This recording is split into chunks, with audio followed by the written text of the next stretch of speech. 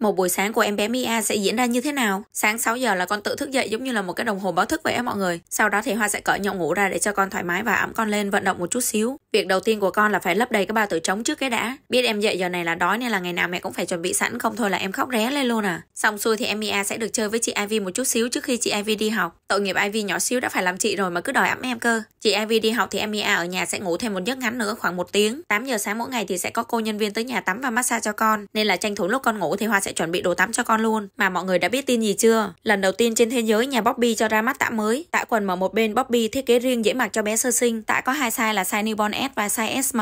Mia nhà Hoa thì đang dùng size newborn S. Điểm độc lạ ở cái tã quần mở một bên Bobby là cái đai này nè cả nhà. Đây chính là cái thiết kế một bên hông đóng mở độc quyền duy nhất mà chỉ có Bobby có thôi đó nha. Xài cái loại tã này rất là tiện, không cần phải nhấc chân nên là an toàn cho trẻ sơ sinh. Bởi vì Hoa nghe bác sĩ dặn là phải hạn chế nhấc chân lật hông con để tránh ảnh hưởng tới xương khớp. Còn khi massage thì phải nhấc nhẹ nhàng để thấp và tay đỡ chắc chắn. Là mẹ bỉm quan trọng nhất đối với Hoa bây giờ là nhanh gọn lẹ. Tã này thì siêu dễ mặc luôn, chỉ với ba bước vô cùng đơn giản, xé mặc dán. Phần đai có chun có giãn nên là dễ dàng điều chỉnh. Chắc chắn nhưng mà mềm mại, không có sợ cà vô da của con. Em này thì thấm hút khá là tốt nên là không có lo bị tràn. Dùng cái loại tã này thì con vừa thoải mái mà mẹ mặc tã cho con cũng nhàn nữa. Vì cái khoảng thời gian này Mia nhà Hoa còn khá là nhỏ nên là con chỉ ăn với ngủ, còn cái khoảng thời gian mà con thức chơi rất là ít. Nên là tắm xong sạch sẽ, thơm tho thì con lại tiếp tục ăn và ngủ. Vậy là đã kết thúc vlog một buổi sáng của em Mia rồi. Hẹn gặp lại mọi người ở những vlog tiếp theo của con nha.